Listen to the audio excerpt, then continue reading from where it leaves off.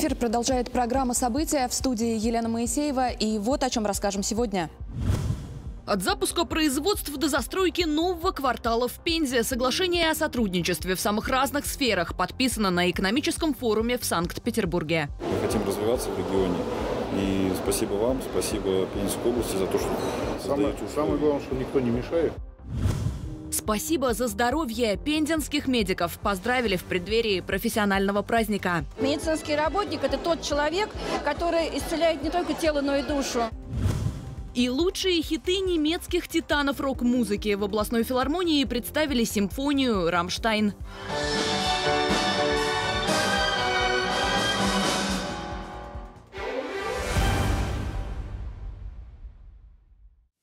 Начнем с новостей из северной столицы. В эти дни в Санкт-Петербурге проходит Международный экономический форум. Это уникальное событие в мире бизнеса. Такая площадка для обсуждений, дискуссий и налаживания сотрудничества в самых разных сферах открывается с 1997 года, а с 2006 под патронатом и при участии президента Российской Федерации. Делегацию Пензенской области возглавляет губернатор Олег Мельниченко. О ключевых моментах, важных для развития нашего региона, в первом материале выпуска. Заводской квартал вырастет в Пензе в течение ближайшей десятилетки. Площадь застройки порядка 122 гектаров, где возведут полмиллиона квадратных метров жилья. Соглашение о сотрудничестве в рамках реализации инвестиционного проекта подписано на Петербургском международном экономическом форуме. Объем вложения около 50 миллиардов рублей. Документы заверены губернатором Пензенской области Олегом Мельниченко и председателем Совета директоров компании «Агрупп» Сергеем Абрамовым. Глава региона подчеркнул, развитие северной части необходимо городу. Старейший район получит шанс на новую жизнь. Делегация нашей области плодотворно потрудилась на форуме. Высокотехнологичная продукция организации Пензенской области, в том числе импортозамещающие в интересах ПАО «Газпром». Регион интересен компаниям-гигантам и не только им. Сотрудничество с Пензенской областью завязывают новые инвесторы, продолжают взаимоотношения, известные в губернии. В Сердобске намерены производить обувь по качеству не хуже итальянской. Швейная фабрика компании «Техносейф» уже работает на территории опережающего развития. Новый проект при участии Фонда развития промышленности – строительство предприятия по выпуску специализированной обуви. Сроки в течение двух лет. Объем вложений 351 миллион рублей. Видим прежде всего возможности, да, понимаем, что для нас это важный перспективный проект. Мы хотим развиваться в регионе. И спасибо вам, спасибо Пензенской области за то, что самое, самое главное, что никто не мешает, никто не лезет. Точно, точно нет. А дизайн обуви вы сами разрабатываете? Мы сами разрабатываем. У меня большая конструкторская группа. Есть отдельная служба продуктового маркетинга, которая занимается вот именно разработкой модели, созданием новых. Все это по науке. Новые предприятия – это не только дополнительный доход в бюджет, но и рабочие места. Тем более, что система профобразования в области претерпит изменения. О подготовке кадров на форуме говорили много. Давний, надежный и социально ответственный партнер ТНС «Энерго» предлагает сотрудничество в рамках обучения молодых специалистов. Взять горящие умные глаза и устроить на работу. Кадры сейчас самое главное. Все, да. А молодежь как раз вот она не должна быть э, потеряна. Компания ТНС «Энерго» нацелена на развитие инновационной деятельности в интересах населения региона. Российский миллиардер Роман Троценко имеет сельхозугодие на территории Пензенской области. Он предлагает новый проект. Мы видим, что климат становится непредсказуемым. Да. И у нас есть два варианта. Жаловаться на это. Да? Либо его предсказывать. Либо начать научиться предсказывать. Занимаемся этим вопросом. Мы с удовольствием как подключимся вместе с вашими специалистами. У нас и ВУЗ наш аграрный на это дело затянут. Вот, помните, Олег Владимирович, да, да. там геоцентр мы открыли. На площадке Петербургского международного экономического форума также было подписано соглашение с руководством Запорожской области. Над новым регионом России Пенза взяла шефство в 2022 помогает восстанавливать разрушенные неонацистами хозяйства. Взаимодействие сторон продолжится. Наша область также является активным участником национального проекта «Безопасные и качественные дороги». Реализация программы в 2023 началась еще весной. Ремонтируют магистрали в разных районах. В Пензе, на улицах Кордон-Сурка, Чадаева, Пушкина, Бакунина. Также в рамках БКД устанавливают и меняют светофоры. Екатерина Воробьева продолжит. Этот светофор на пересечении улиц Кураева-Кирова подключат к создаваемой интеллектуальной транспортной системе города. Автоматический регулировщик нового поколения заменит уже устаревший. Для того, чтобы в перспективе упорядочить движение на оживленных магистралях областного центра, а также снизить аварийность в местах концентрации ДТП. Будут установлены датчики, во-первых, для мониторинга транспортных потоков, дальше сама интеллектуальная система уже будет э, просчитывать транспортные потоки. Датчики также установлены уже на улице Калинин, на улице Киров, далее на других объектах. А, система будет э, мониторить все это и уже в зависимости от транспортных потоков, то есть э, светофорные объекты будут э, синхронизироваться. Работа по замене, модернизации и установке новых светофоров проводят в рамках программы «Безопасные и качественные дороги». И это делает иногородний подрядчик. У него несколько точек. На улицах Терновского, Рахманинова, проезде Пестеля, перекрестке Володарского, Кураева. Регулируемый пешеходный переход, да, на улице Московской, Кураева. То есть кнопкой? Нет, там будет жесткий режим. Все бегут, бегут, бегут,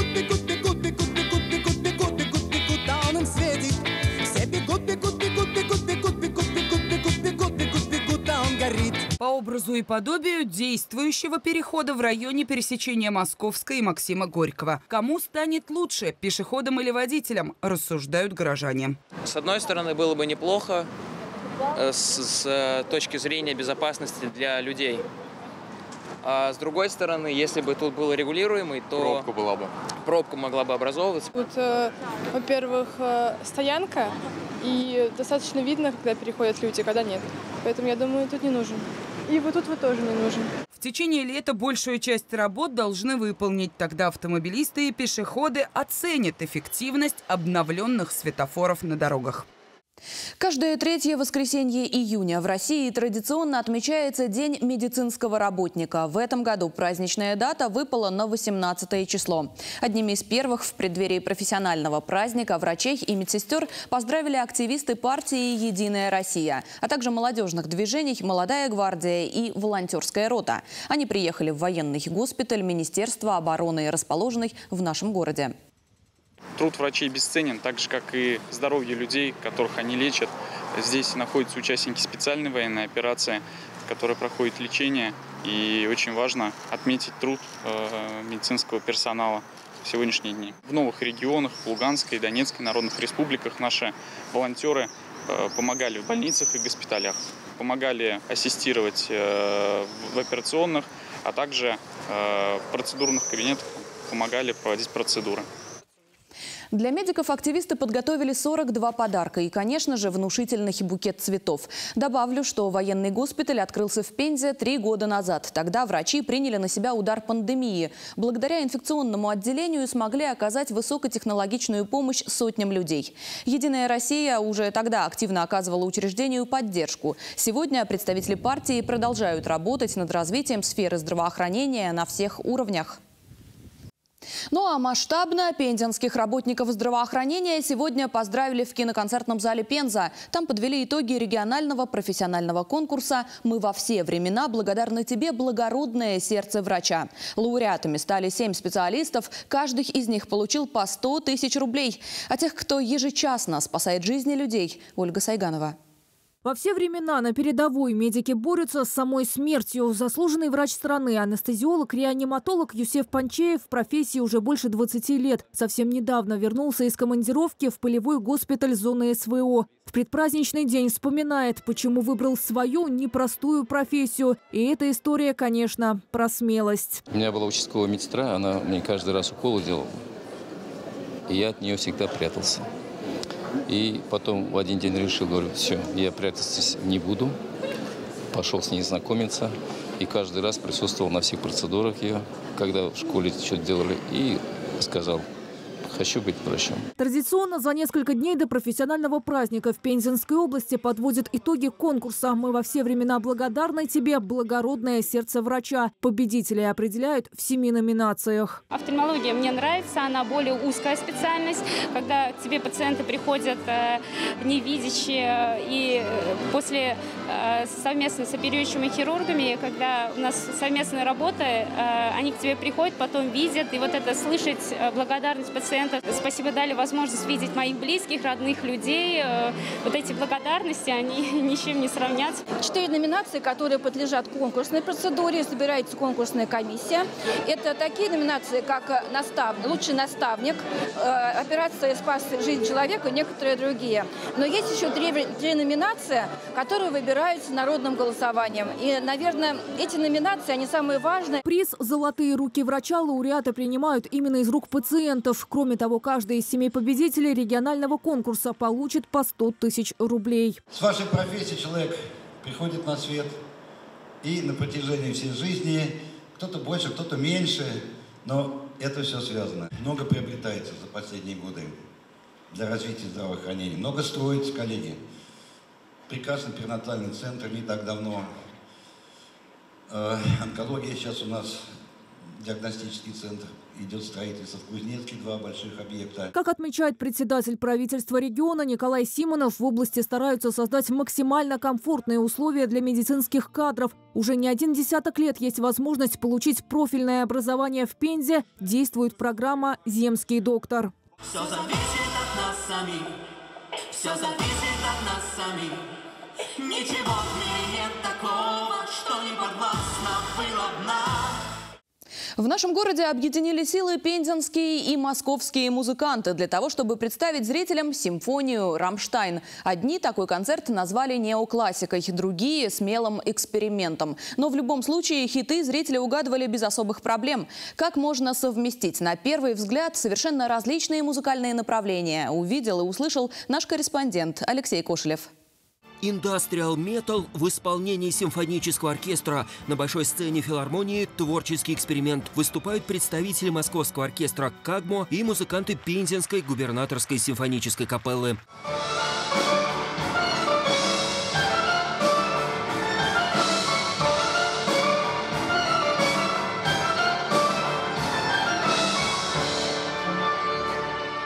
Программа, которую представляют артисты, называется «Симфония Рамштайн». Хиты известной группы звучат на иной лад.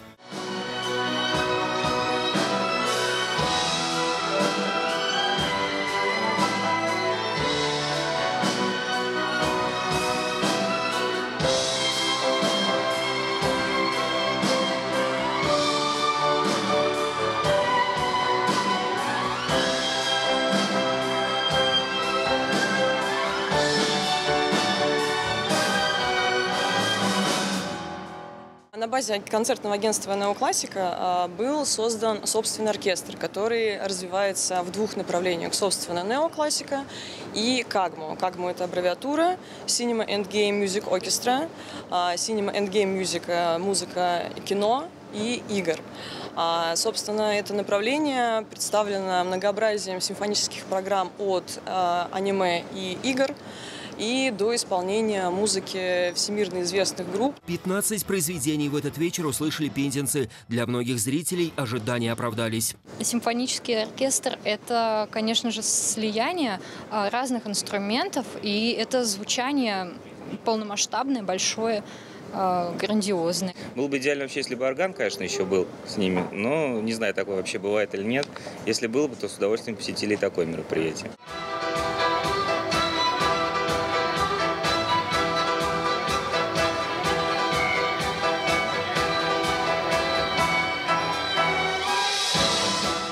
Следующий раз музыканты оркестра «Кагмо» планируют представить пензенцам симфонию «Король и шут».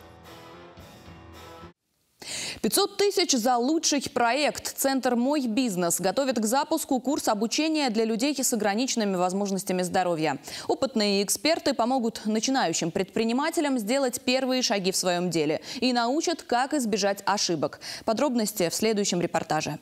Начни свое дело. Центр «Мой бизнес» запускает новый курс обучения. Он направлен на людей с инвалидностью. После тренингов и создания фирмы предприниматели смогут претендовать на грант до 500 тысяч рублей. Мы поможем определиться с нишей и самой бизнес-идеей для тех людей, которые пока не понимают, в каком направлении хотят сделать бизнес, но есть желание стать предпринимателем.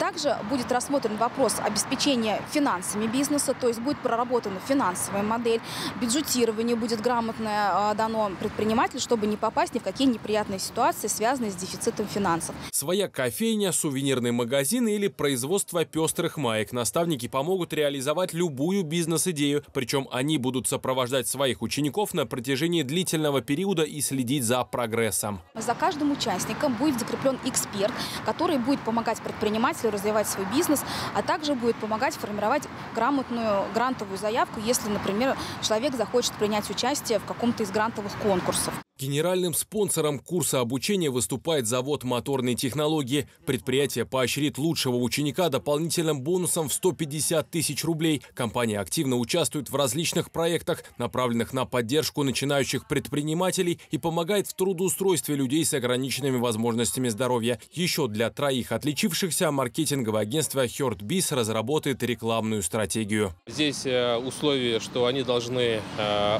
осуществлять свою деятельность без э, наемных работников, состоять в реестре социальных, социального предпринимательства. И как раз вот 20 июня у нас начинается новый образовательный курс как раз для включения в это социальное предпринимательство и обучение а, по составлению бизнес-плана, потому что для участия необходим будет и представить свой бизнес-план, защитить его. Курс «Начни свое дело» бесплатный. Он пройдет в очном и онлайн форматах. Заявку на участие можно подать на сайте Центра «Мой бизнес» до 20 июня, а все вопросы уточнить по телефону 22 18 58. Сейчас короткая реклама. Оставайтесь с нами.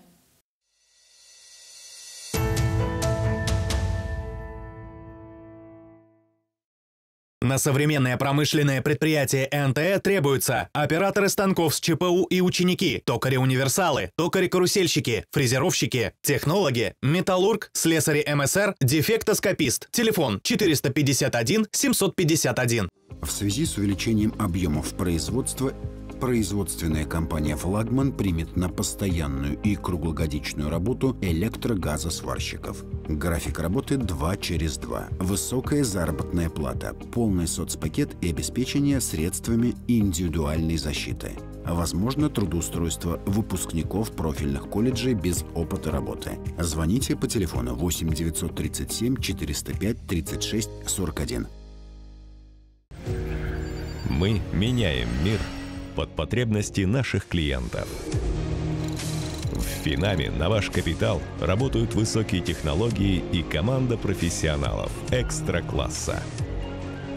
Финам. Будьте успешным, оставаясь собой. Где те кадры? Хороший повар стоит дороже юриста. Эксперты крупного российского интернет-сервиса провели исследование пензенского рынка труда и пришли к выводу о кадровом голоде по некоторым востребованным специальностям. Пензенские герои в тылу врага, наших земляках, подпольщиках и партизанах в годы Великой Отечественной войны. Секреты Никольского селища, о взрослых открытиях юных археологов. Опасная мода молодежи. Врач-педиатр предупреждает об опасных последствиях курения электронных сигаретов вейпов. Сказочник из седьмого подъезда. И один человек может преобразить мир. Об умельце, украсившем двор многоэтажки садом с плетнем, колодцем и сказочными персонажами. Все это и многое другое в свежем номере газеты «Наша Пенза».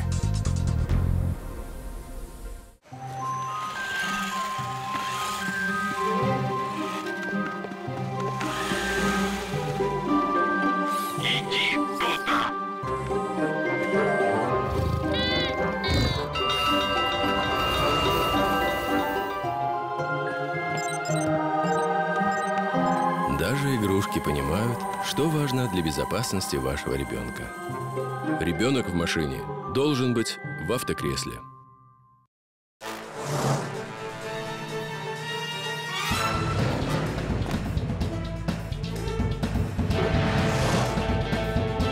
На скорости 60 км в час, даже на сухой дороге, расстояние, которое пройдет автомобиль до полной остановки, около 60 метров. Пешеход может оказаться ближе, чем вы думаете. Поэтому тормозите заранее перед пешеходным переходом. Внимание! Тормози заранее.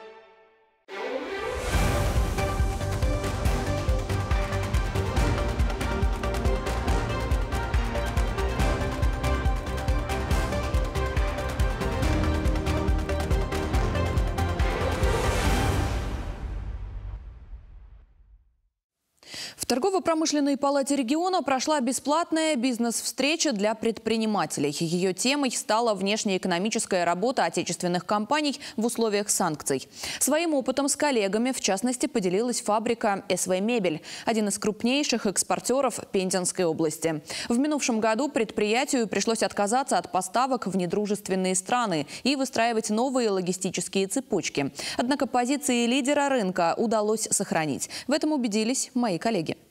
В рамках бизнес-встречи с предпринимателями в торгово-промышленной палате региона фабрика СВ «Мебель» выступила одним из главных спикеров. Ведущее промышленное предприятие в своей отрасли осветило наиболее важные вопросы экспортных операций. Несмотря на введенные ограничения и запреты на экспорт, по итогам работы 2022 года СВ «Мебель» нарастила свои объемы реализации на 34%, а в этом году объемы производства уже за 5 месяцев выросли в два раза. СВ «Мебель» Это федеральное предприятие по производству корпусной мебели. Восемь лет подряд является крупнейшим экспортером Пензенской области. На рынке мы более 26 лет. У нас 27 собственных фирменных и более 150 франчайзинговых салонов в России.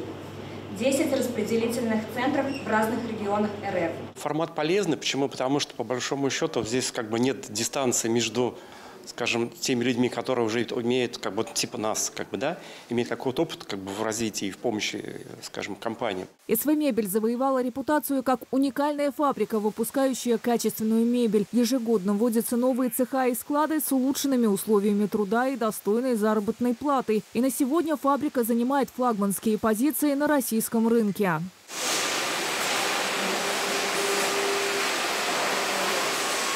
В связи с открытием новой современной автоматизированной производственной площадки СВ «Мебель» приглашает всех жителей города, желающих оценить масштабы предприятия и условия труда, посетить фабрику лично. Запись на экскурсию по телефону 970000. Сегодня у каждого есть возможность стать частью команды СВ. Во время летних каникул воспитанникам многофункционального туристско-спортивного центра некогда скучать. Для них сейчас самое время набираться опыта в пешеходных походах и во время сплава по рекам. Заняты они и на состязаниях. Ребята из областного центра Пензенского и Калышлейского районов приехали в поселок Мичуринский, чтобы посоревноваться на катамаранах и каяках. Кулачок даем! Внимание! Старт!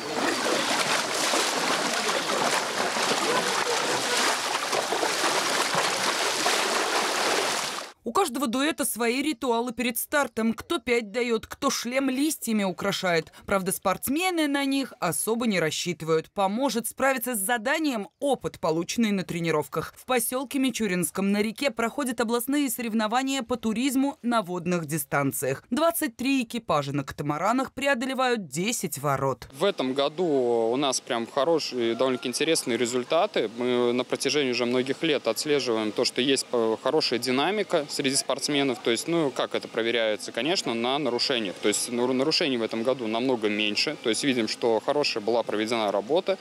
Ну и, конечно, опыт участия в крупных соревнованиях ребят в этом году дал определенные плоды. Состязание традиционное. И, казалось бы, участники знают эту затерявшуюся в зелени реку. Но организаторы меняют элементы дистанции, условия которой спортсмены узнают за час до старта. В первый день юные туристы выступали на каяках в личном зачете. Во второй второй на катамаранах в парах преодолевают сложности. В этом уже сложившемся дуэте Мальков-Зелепугин, недавно вернувшимся с соревнований Приволжского федерального округа, обязанности распределены поровну. Дистанция так простая. Просто мы, как всегда, налажали. Это почему же? Ну, так должно быть, в традиции. На второй попытке обгоняем. Эта двойка, так называют участников соревнований на катамаране, представляет Калышлейский район. Чтобы не сбиться с ориентира, ребята долго и упорно тренировались в бассейне. На открытой воде куда сложнее. Течение, но оно не сильное и холодная вода. Намокнуть было ну, неприятно. Не то, что в бассейне. Да. Наряду с детьми проходят водную трассу и мастера. Спецзаплыв преподавателей сказать.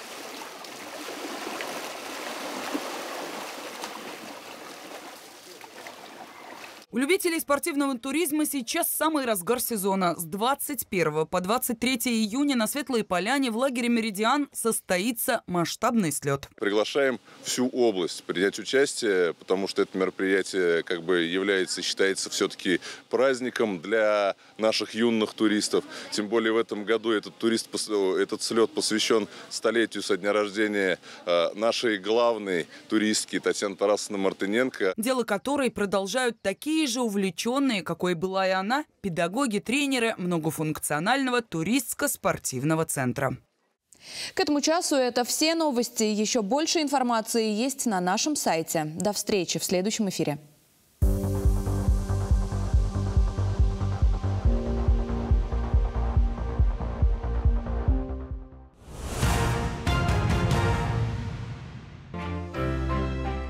Завтра на западе Пензенской области переменная облачность. Ветер северо-восточный от 3 до 5 метров в секунду. Температура воздуха ночью плюс 13, плюс 16 градусов. Днем до 27 градусов выше нуля.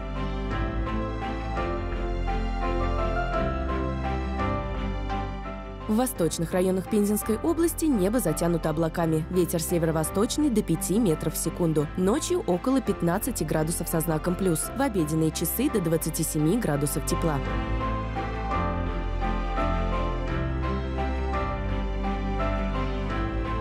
Пензе пасмурно. Температура воздуха ночью плюс 15 градусов. Днем обещают 27 градусов тепла. Ветер северо-восточный 5 метров в секунду. Атмосферное давление составит 744 миллиметра ртутного столба.